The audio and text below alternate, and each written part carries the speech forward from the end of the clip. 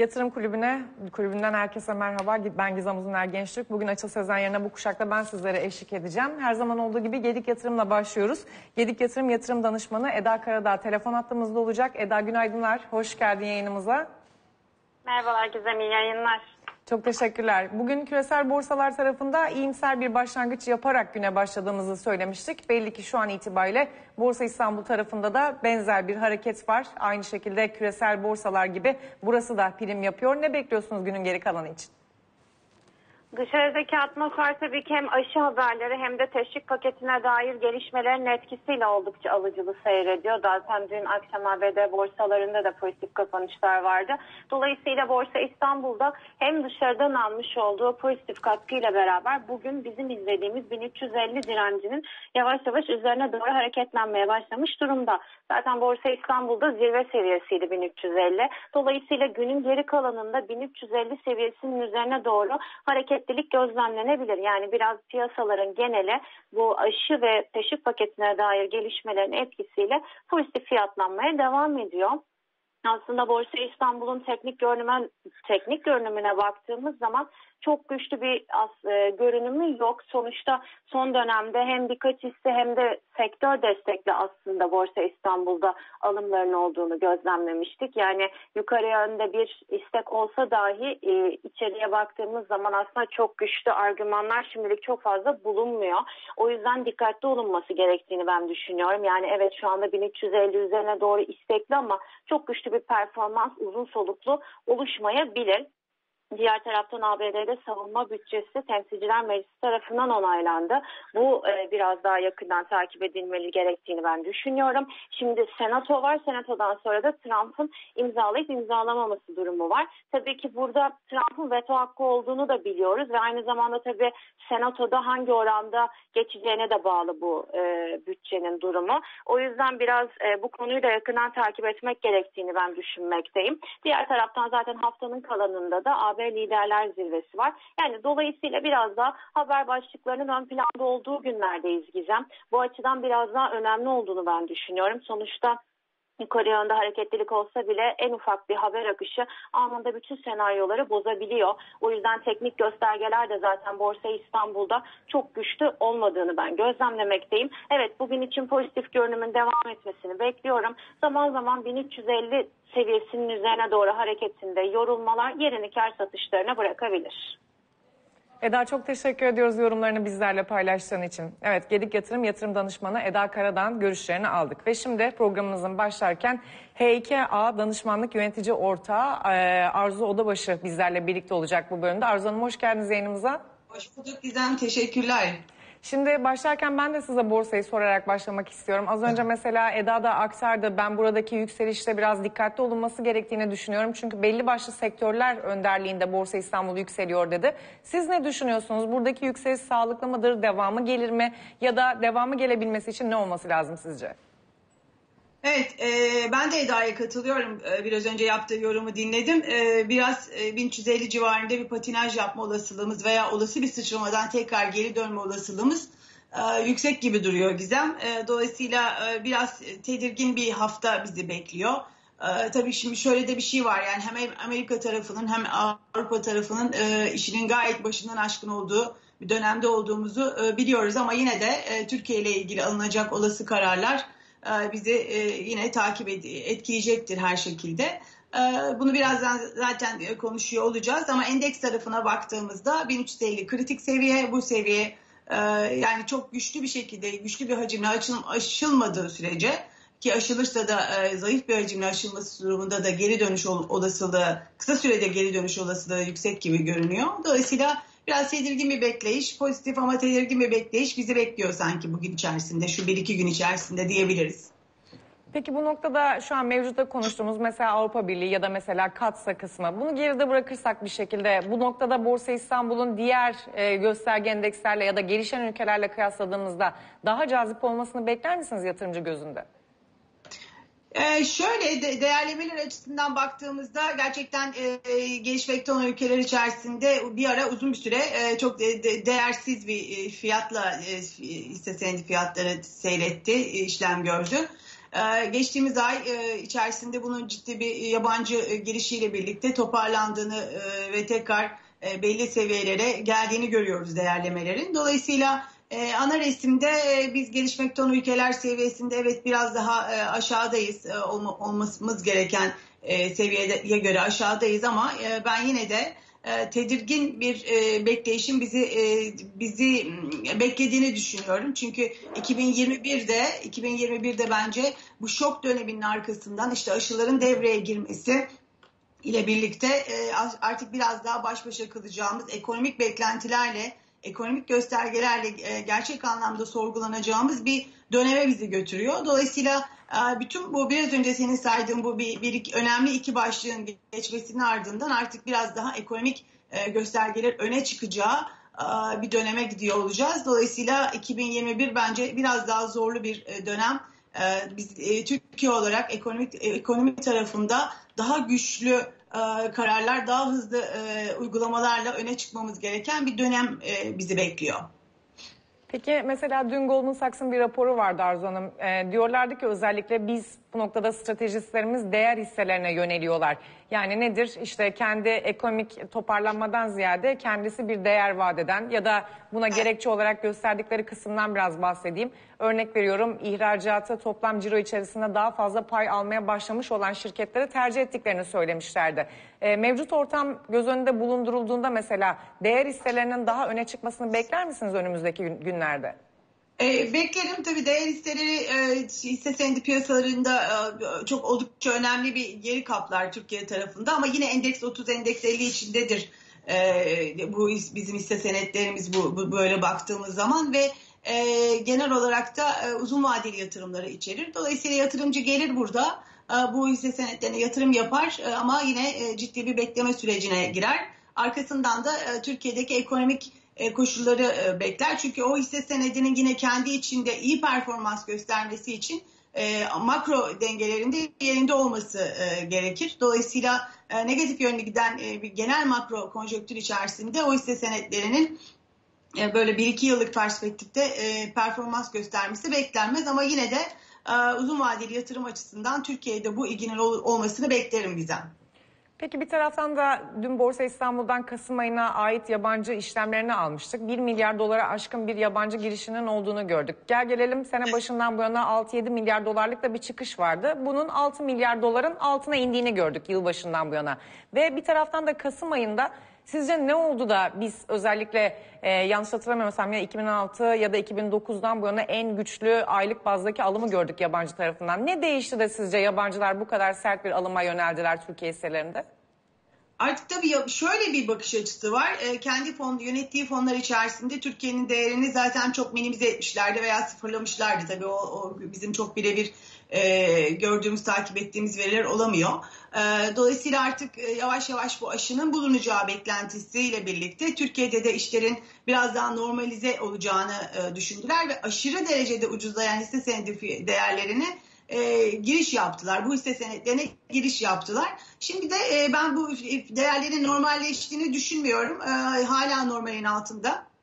Piyasa yani beklenen değerlerin altında olduğunu düşünüyorum ama yine de e, aşırı derecede ucuzlamış olan hisse senedi fiyatlarının özellikle bankalar tarafında çok ciddi satışlar olmuştu biliyorsun. E, buralara çok ciddi giriş önemli bir giriş oldu. E, bu girişin devam etme olasılığı yüksek ama biraz daha e, sanki portföyleri dağıtarak yani diğer gelişmekte olan ülkelerle birlikte dengeleyerek belki bu süreci götürüyor olacaklar. Ama ben yine de bu ilginin e, devam etmesini beklerim. E, tabii bir taraftan da yerli yatırımcı şu süreçte e, aktif durumda oldukça güçlü sayıda piyasaya girmiş vaziyette. Yerli yatırımcı sayımız e, ciddi anlamda e, güçlendi. E, dolayısıyla bir taraftan yerli yatırımcının etkisi, diğer taraftan yabancı yatırımcının etkisi. Genellikle portföy yapıları farklı oluyor. Hisse senedi seçimleri e, farklı oluyor kurumsal ve gerçek kişilerin ama e, yine de hisse senedi piyasalarını güçlü tutan bir etken oldu bu süreçte. Peki bir taraftan yabancı çıkışını konuşurken aslında bankaların geri kalma sebebini de bu noktada açıklamış oluyoruz bu sene içerisinde. Sizce peki yerli yatırımcılar neden bankaları tercih etmiyorlar? E, yerli yatırımcının genel e, dokusunda, genel anlayışında böyle bir durum var maalesef. E, Gizem e, yıllardır e, yerli yatırımcı biraz daha endeks e, 30'un dışında hisse senetlerini daha fazla sevdi. E, daha fazla ilgi gösterdi ve yatırım yaptı. Bazen küstü, bazen e, para kazandı. Ama e, genel olarak böyle bir e, yapı söz konusu. Yabancı yatırımcılar e, işte daha çok derinliği yüksek olan, volüm, e, hacmi yüksek olan hisse senetlerine yönelirken yerli yatırımcı e, daha e, küçük, derin derinliği olmayan ve volümü hacmi düşük olan hisse senetlerine yöneldi. Dolayısıyla e, biraz daha böyle endeks 50 dışındaki hatta 100 dışındaki hisse senetlerine girdiğini görüyoruz. Burada bir benim benim tahminim biraz da finansal okur yazarlıkla alakalı bir durum söz konusu. yatırımcıların ben bilinçlendikçe daha ee, bu, bu endeks 30'a, endeks 50'ye yöneleceklerini tahmin ediyorum. Veya e, endeks 100 dışındaki hisse senetlerine girip e, buralardan e, uzun vadeli bir beklentiyle e, beklenti içinde olacaklar, beklentiyle bu yatırım yapacaklarını düşünüyorum. Dolayısıyla bu birazcık daha bence bilinç ve e, sanki e, finansal okuryazarlığın e, güçlenmesiyle birlikte değişecek. Ama şu anda e, benim gördüğüm kadarıyla e, yerli yatırımcı daha çok böyle bir araya gelip sanki kendilerinin biraz daha manipüle edebileceği hisse girmeyi tercih ediyorlar. Orada da bazı çoğu zaman maalesef ki istenmeyen durumlarla karşı karşıya kalabiliyorlar. Peki böyle bir kompozisyon borsada yani neredeyse %50 yabancı, %50 yerli yatırımcı ile ilerleyen bir borsada sizce bu durumda yerli yatırımcının alışkanlıklarından kaynaklı olarak eğer bu kompozisyon değişmezse daha fazla oynak bir seyir izleyebilir miyiz borsa tarafında? İzleyebiliriz ama yerli yani yabancı yatırımcı girdiği zaman bunun ağırlığı arttığı zaman e, biraz daha hakim olduğunu görüyoruz ve e, dolayısıyla biraz daha sakin bir piyasa görebiliyoruz. Dolayısıyla çünkü yabancı yatırımcı giriyor ve bir süre bekliyor, bekle, bekleyerek hareket ediyor. Tabii yabancı yatırımcının da uzun vadeli fonları var, daha kısa vadeli yatırım yaptığı e, taraflar olabiliyor. Ama genelde e, onların kısa vadesi bizim yerli yatırımcının uzun vadesiyle denk gelebiliyor bile.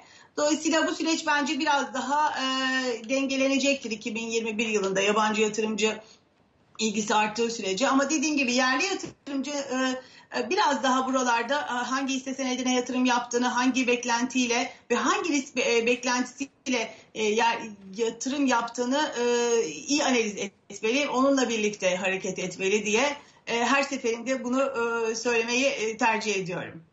Peki bir taraftan da bu sene hani bütün dünyada halka arz açısından çok zengin bir sene değildi tabii salgın yılı olması hasebiyle. Türkiye'de de baktığımızda 7-8 tane şirket gördük 3 aşağı 5 yukarı ama hepsinde de özellikle talep toplama dönemlerinde rekor e, talep geldiğini de gördük. Yani yerli yatırımcının da çok ciddi ilgisi var. Burayı nasıl görüyorsunuz? Önümüzdeki dönemde canlanabilir mi? Burada halka arzlara gelen ilgiyi nasıl değerlendirirsiniz? Ee, ben şöyle söyleyeyim, halka arzların gerçek anlamda e, şimdi geçtiğimiz dönemlerde 2015 e, öncesinde özellikle e, çok ciddi hatalar yapıldığını düşünüyorum halka arz sürecinde. Çünkü gerçek anlamda analiz edilmeden biz şirketleri halka arz ettik ve yatırımcının kendi kararını kendi almasını, kendi analizini kendi yapmasını bekledik. Ama ben buna baştan beri açıkçası karşıyım. Çünkü yatırımcının, yerli yatırımcının böyle bir e, finansal okul yazarlık eğitimi yok. Yani bu kararı alması, bu analizi yapması çok zor.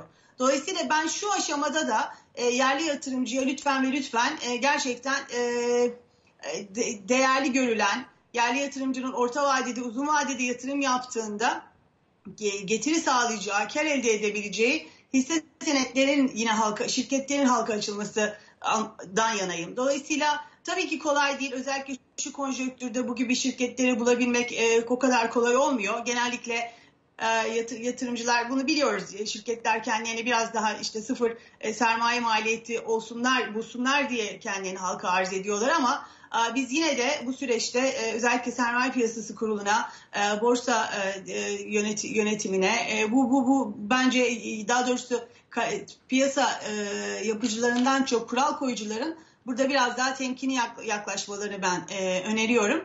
E, devamında da yatırımcının e, yine kendi analizini kendi yapması ve bu şekilde bu aracı kurumlarında burada tarafsız rapor hazırlayarak yatırımcılara sunması gerektiğini düşünüyorum. Yani halka arz eden e, tarafın burada belki raporları raporlarından öte e, karşı tarafta o, o e, sürecin içinde olmayan kurumların tarafsız raporlarının dikkate alınması e, ve bu raporların daha fazla sayıda olması e, bence yerli yatırımcıyı kalıcı bir şekilde piyasada olmasını ve bu yatır, burada buraya yatırımını e, destekleyecek, teşvik edecek bir e, süreç olacaktır.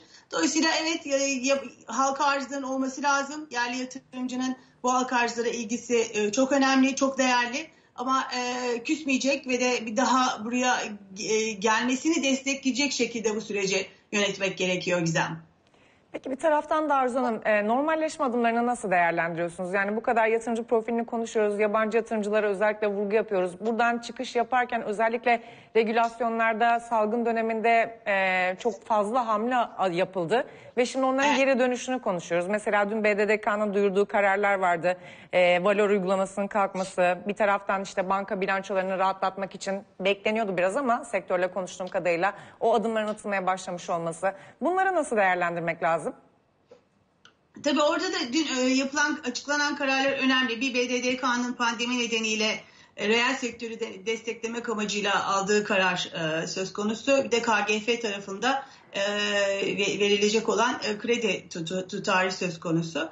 Dolayısıyla e, bu iki tarafı da e, bence önemli buluyorum ve en başta birazcık da e, daha sıkı e, özellikle Türk lirasını korumak anlamında pek çok sıkılaştırmaya gidildi. Yani biraz daha e, piyasaları sevmediği, istemediği e, fazla kısıtlamalar yapıldı. Ve bu kısıtlamalarda maalesef e, bize tekrardan ters bir etki yaptı ve etki tepki e, sürecine girdik. Şimdi BDDK'nın almış olduğu kararlar bu uygulamaları biraz daha e, geniş geri aldı ve de e, bir şekilde e, sek, reel sektörü destekleyici kararlar aldı. Ha bankacılık bankacılık tarafında e, önemli bir e, karar çünkü kredi, takipte olan krediler 90 güne gün e, sonra alınan, alınan e, takipteki bu kredi e, takip kredilerin takibi alma süresini 180 güne uzatıldı. Bu bir anlamda hem bankacılık sektörünü rahatlattı ama bir taraftan da e, bir şekilde onların cash e, ihtiyacını yani mevduata yönlendirecekleri tutarın da belki e, e, azalmasına da neden olacak. Dolayısıyla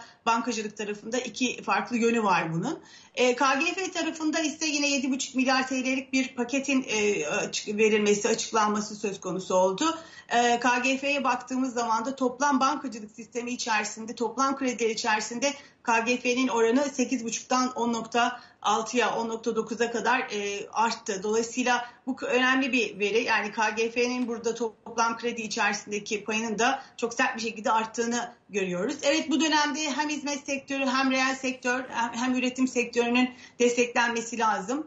E, ama e, bu süreçte geç, geçmiş dönemde olduğumuz gibi bazı e, şeylerin de nasıl diyeyim bu verilen sektörün verilen kredilerin gerçek anlamda amacına ulaştığının da takip edilmesi gerekiyor. Sonuçta bu krediler e, her şirketin özellikle COBİ'ler için gerçekten bir e, önemli bir aşı niteliğinde, önemli bir can suyu niteliğinde e, ama gerçekten bunun amacına ulaştığını, işte istihdam sağladığını, ihracat ihracatı arttırıcı tarafta kullanıldığını görmek ve takip etmek gerekiyor. Geçtiğimiz dönemlerde biz maalesef yaşadık. Yine kişiler veya şirketler e, bir şekilde bu kredileri aldılar ve bu krediler tekrardan döviz tarafında talebe neden oldu e, veya manipülatif kendi taraflarında kendi işlemleri için e, kullanıldığını da gördük. Dolayısıyla bunun bu tarafın ben çok iyi analiz edilmesi ve de iyi takip edilmesi gerektiğini düşünüyorum. Çünkü sonuçta her kullanılan yanlış kullanılan kredi Türkiye'nin geleceğine bir şekilde alıp başka bir tarafa götürüyor maalesef. Peki artık o kadar da yüksek bir kredi ivmesi olmayacak tabii bizim bu salgın döneminde evet. gördüğümüz kadar. Önümüzdeki dönemde bir de buna sebep olan bir kısımda faiz ortamının yükseliyor olması. Bunun bizim mevcuttaki kompozisyonumuzu yani ekonomi bütün maliyeyi, para politikasını hepsini bir arada değerlendirecek olursak nasıl etkilemesini beklersiniz buradaki ivme kaybını?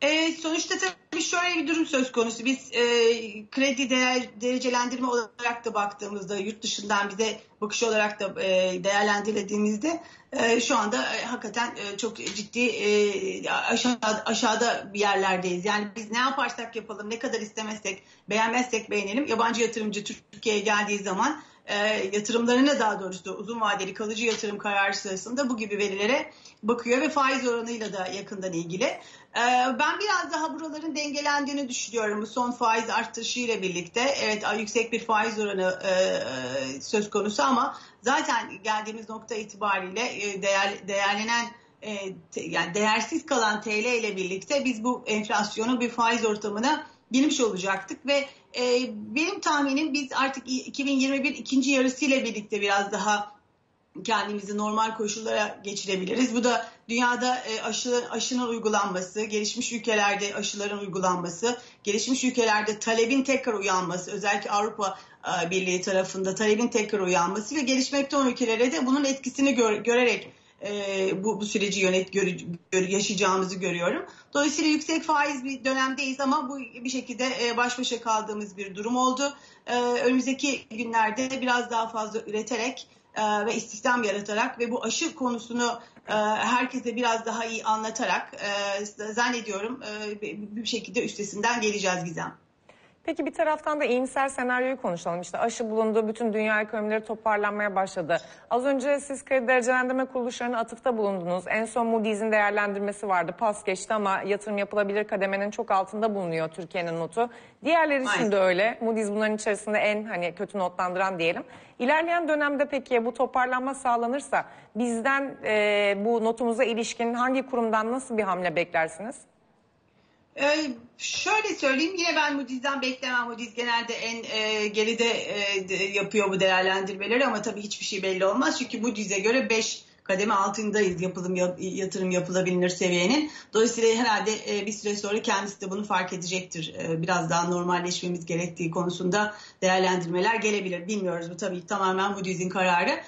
Ver bugün yapmış olduğu açıklama önemli. E, sonuçta 2021 yılında aşı ile ilgili e, bu süreç e, yani aşılanmaların başlaması, ekonomilerin normalize olması ile beraber e, yine de 2021 yılında e, güçlü bir e, e, kredi notu artışına gitmeyeceğini söylüyor. E, dolayısıyla Türkiye'nin de ben bu, bu süreçte bu şekilde olabileceğini düşünüyorum. Yani özellikle Afrika bölgesi ve de Orta Doğu bölgesinde ayrıca e, Latin Amerika tarafında çok ciddi bir kredi e, indirimleri, kredi notu indirimlerinde bulundular. Ve bu buradaki hassasiyetin de devam edeceğini düşünüyorlar. Yani özel olarak Türkiye'yi söylememişler ama bence yine de gelişmekte olan ülke olarak Türkiye'de buradan payını alacaktır. Ha nedir?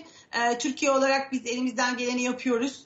Bütün bu e, çarkların tekrardan aktif bir şekilde yerine oturması bence tabii ki zaman alacaktır. Ve 2021 sonu hatta 2022 başı, başına doğru artık e, biraz daha bizim kredi notu, notu tarafımızda e, olumlu haberlerin, olumlu gelişmelerin e, olabileceğini düşünüyorum. E, şu, şu süreçte e, tabii ki şimdi yaptırımlar konuşuluyor. Bir sürü bir e, konular söz konusu hem Amerika tarafında hem Avrupa tarafında ama ben onların yine de e, bizim tarafı çok fazla etkilemeyeceğini veya bize ait çok böyle güçlü bir karar alın, alınmayacağını e, düşünen taraftayım. Peki Arzu Hanım, Türk lirası hakkında ne düşünüyorsunuz? Bunu da sorayım. Başlarken mesela dolarizasyon konusuna da biraz gelecektim aslında. Mesela borsa yatırımcısından bahsediyoruz ama bir taraftan da doları da ya da dövizi de yatırım aracı olarak görüyor yatırımcılar. Ne düşünürsünüz önümüzdeki dönemde Türk lirasının e, seyri açısından? Bunu bir de şu açıdan da soruyorum. Az önce mesela kredi kısmını konuştuk, faizler kısmını konuştuk. E, yine geldiğimiz noktada 7.83'ün üzerinde seyreden bir e, dolar TL var. Nasıl yorumlamak lazım?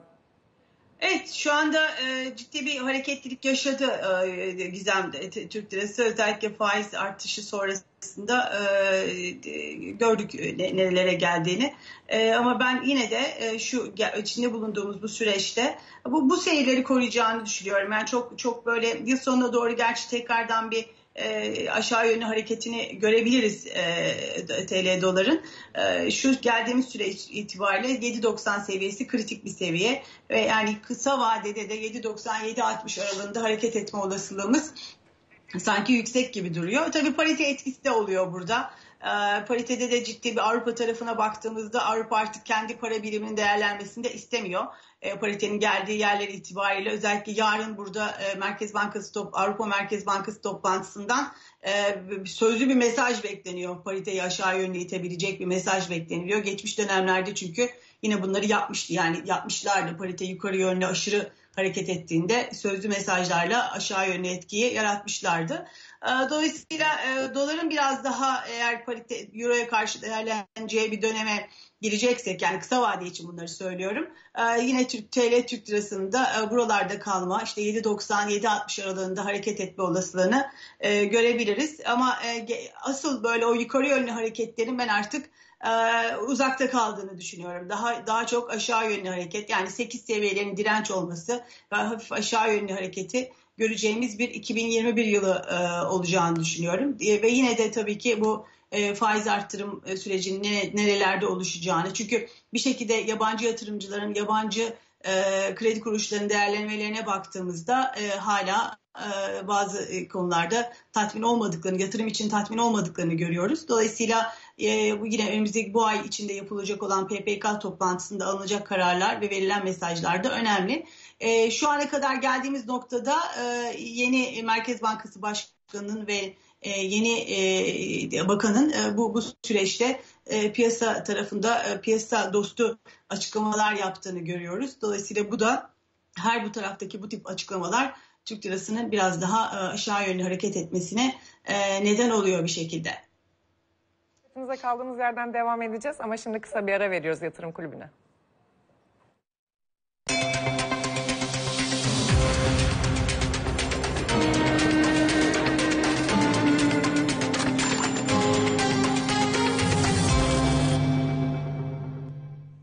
Yatırım Kulübü'ne kaldığımız yerden devam ediyoruz. H2A Danışmanlık Yönetici Ortağı Arzu Odabaşı ile sohbetimize kaldığımız yerden şimdi devam edeceğiz. Arzu Hanım, e, az önce Türk lirasından bahsediyorduk. Tekrar cazip kılmak için ya da dolarizasyonun önüne geçmek için Merkez Bankası artık buna vurgu yaptığı için söylüyorum. Sizce ne olması lazım? Evet, e, geldiğimiz nokta itibariyle Gizem, e, Merkez Bankası tarafında alınan kararlar da piyasa e, piyasaların beklenti, beklentilerin örtüştüğü bir dönemden geçtik. Ee, bu stratejinin devam etmesi önemli e, kendi tarafımızda. Yabancı yatırımcı için e, yabancı yatırımcıya verilen önemi, onların e, yatırım yapması için gerekli olan ortamı yaratılacağına yönelik bir takım önemli açıklamalar var yine hükümet tarafında, hükümet nezdinde. Biraz daha bu yani bize yabancı yatırımcının gelmesi ve yabancı paranın bir akması gerekiyor Türk lirasının da sakinleşmesi, rahatlaması için bir anlamda. E, dolayısıyla şu, şu anda tabii ki dünyada pek e, para, para değerli ve pek çok tarafta kredi paketleri hem Amerika'da, Avrupa'da ve bütün ülkelerde kredi paketlerinin öne çıktığını görüyoruz. Biraz da çok daha fazla krediyle fonlandığımız bir dönemden geçiyoruz. Türkiye'de de aynı şey söz konusu. Ee, dediğim gibi biraz daha ekonomik olarak da güçlendiğimizi göstermek gerekiyor. Biz her şeye rağmen e, bu sene e, bir baz etkisi nedeniyle olsun ve e, bir anlamda bütün bu desteklerle verilen desteklerle birlikte yılı sıfırın üstünde hafif sıfırın üstünde kalan bir büyümeyle e, kapatacağız gibi görünüyor. E, fakat 2021'de 2021'de biraz daha yine bu rakamlarla baş başa kalacağız. E, bu sefer bazılar yine yukarıda kalmış olacak. E, ama e, geldiğimiz noktada gerçek anlamda e, faaliyetlerin aktive edildiği e, bir dönem döneme doğru gidiyor olacağız. Dolayısıyla bu dönemin çok iyi yönetilmesi lazım. Yani 2020'ye el birliğiyle herkes bir taraftan büyük desteklerle atlattı. 2021'de de bizim aynı performansı göstererek aşıyla birlikte tabii bu e, süreci dünyadaki aşılama süreci ve ekonomik aktivitelerin art, artmasıyla normalize normalleşme durumunun aktif olmasıyla birlikte göreceğimizi düşünüyorum. Çünkü biz ne yaparsak yapalım e, dünya dünya eğer aktive olmazsa biz de e, çok fazla ileri gidemeyiz. Dolayısıyla bu ekonomik performanslarla birlikte TL tarafında yine sakinleşeceğimizi e, TL'nin e, olması gereken değerine tekrardan ulaşacağını e, söyleyebiliriz. Tabii ki faiz TL dengesini gözeterek bu süreci yaşayacağımızı düşünüyorum. Arzu Hanım çok teşekkür ediyorum yorumlarınızla bizlere katkıda bulunduğunuz için. Ben teşekkür ediyorum. Kolaylıklar diliyorum Gizem. Çok sağ olun. H2A Danışmanlık Yönetici Ortağı Arzu Odabaşı'nın da yorumlarını aldıktan sonra şimdi Dubai temsilcimiz Ersoy Erkazancı'ya dönüyoruz. Ersoy tekrar merhabalar. Ee, nasıl bir fiyatlama var şu an piyasalarda? Ee, Gizem merhaba. Sabah da konuşmuştuk seninle. E, iyimser bir hava var diyordum Asya'da. Çin hariç. Öyle de devam etti. Pek çok piyasada kapandı. E, Çin'in eksi yalnız %1'in de üzerine geçti. E, diğer borsalar ise %1'in üzerinde artılarla bugün iyimser bir günü yaşadı. Japonya'da makine siparişleri beklenenden iyi geldi. E, Amerika'nın tabii artı kapatması, vadenin artıda olması e, Asya tarafında da iyimserlik için bir sebepti. Ama bugün en önemli haberi Çin'den gelen enflasyondu. Eksi 0.5 hiç beklenmiyordu. Negatif bir enflasyon tüfede 2009'dan bu yana görülmemişti. E, üfede de eksi bir buçuk geldi. Özellikle domuz eti fiyatlarındaki düşüş bu enflasyondaki eksinin sebebi. E, sabahleyin biraz yatay olan piyasalar e, gün ilerledikçe eksilerini biraz daha arttırdı. Ama daha önce de konuşmuştuk. E, bunun biraz geçici olduğu, bu aya özel olduğu düşünülüyor. Petrol de hemen söyleyeyim petrol fiyatları da bir türlü toparlayamıyor. Hem haftalık stoklarda yükseliş vardı bu hafta hem de Enerji Bilgi İdaresi gelecek sene Amerika'nın daha az üretim yapacağını söyledi. E, petrol fiyatları 50 dolarlara yaklaştıktan sonra biraz oralarda durulmuş gibi gözüküyor. Son bir haberle bitireyim. Çin'le Irak arasında milyar dolarlık anlaşma diye bugün bir başlık vardı. Ee, Irak petrolünü Çin'e satacak ama önceden nakit alıyor. Uzun vadeli bir anlaşma bu. E, 2 milyar dolarlık bu sene için nakit para alacak. Bu da e, Irak'ın bütçesini rahatlatmak için çok e, önemli bir e, rakam. E, daha önce Angola ile Venezuela'ya benzer şey yapmıştı için e, bu haberi de paylaşmak istedim. Sözü sana aktarayım. Gizem. Ersoy çok teşekkürler. Son fiyatlamaları bize aktardığın için Çin haricinde Asya'dan pozitif bir hava devraldığımızı söyledi Ersoy. Şu an itibariyle açık olan piyasalara baktığımızda sınırlı da olsa primler söz konusu olduğunu söyleyebiliriz. Bununla beraber Amerika vadelerine baktığımızda burada da yatay yukarı bir seyrin izlendiğini ekleyebiliriz. Şu anki tabloya günün geri kalanında doğrudan doğruya piyasaları etkileyebilecek makroekonomik veri ajandasının sakin olduğunu eklemek lazım. Gözler ağırlıklı olarak mali teşvik paketine dair e, buradaki umutlara bağlı olduğunu söyleyebiliriz. Tabii ki aşı gelişmeleri de aynı şekilde piyasalarda olumlu yönde etki yapıyor. E, ABD vadeli işlemleri arkadaşlarımız ekrana getirdiler. Bu esnada borsanın da tablosunu hatırlatayım. Şu an gördüğümüz kadarıyla %0.72'lik bir prim var. Borsa İstanbul'da 1349 puandan BIST 100 endeks artıda. Mali endeks %0.87 primli. Banka endeksi ise %0.92 kadar primli. Bu arada zaten endeks de BIST 100 endeks de tarihi zirvesine e, 3-4 puan sadece uzaklıkta olduğunu da söyleyelim şu anki fiyatlamalara bakarak. Ve böylece yatırım kulübünün sonuna geliyoruz. Kısa bir ara var. Aranın ardından Fokus programıyla devam ediyoruz. Hoşçakalın.